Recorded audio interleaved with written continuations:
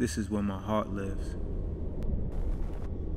This is where I come from. Impossible is written all over these streets, telling you to struggle, telling you to stay down.